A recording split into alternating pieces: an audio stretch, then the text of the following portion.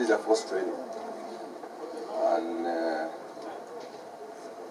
the, first training that we did, just to see the level of our players, their thinking, and the mentality of the goalkeepers is very, very. And for them to see what we are going to face in the tournament.